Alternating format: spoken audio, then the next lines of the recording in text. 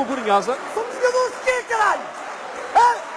Somos jogadores só para com as equipas pequenas. Quando é que a gente chega lá? Somos jogadores de quê? Vambora, caralho. O jogo está na mesa. Mantém toda a situação. Mantém toda a situação. Está 0-0. Vamos jogar futsal. Se não, para estes jogos, começam a jogar os garotos. Ou vocês começam a jogar estes jogos, ou jogam o sub-20. Para dentro, caralho.